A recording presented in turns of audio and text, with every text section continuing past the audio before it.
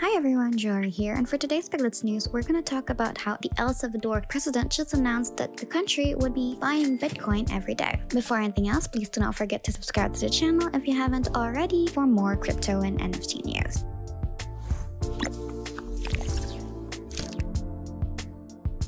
So, the president of El Salvador, Nayib Bukele, announced on Twitter on Thursday, November 17, that his country will buy one Bitcoin every day. And following Bukele's announcement, Tron founder Justin Sun said that he will do the same, tweeting, We echo at Nayib Bukele's initiative in buying Bitcoin daily. We will also buy Bitcoin every day. Bukele is not deterred by the recent turmoil surrounding the bankrupt crypto exchange FTX. On Sunday, the Salvadoran president explained in a tweet that FTX is the opposite of Bitcoin. Bitcoin's protocol was created precisely to prevent Ponzi schemes, bank runs, Enrons, WorldComs, Bernie Madoffs, Sam Bankman-Fried's, bailouts, and wealth reassignment. Some understand it, some not yet.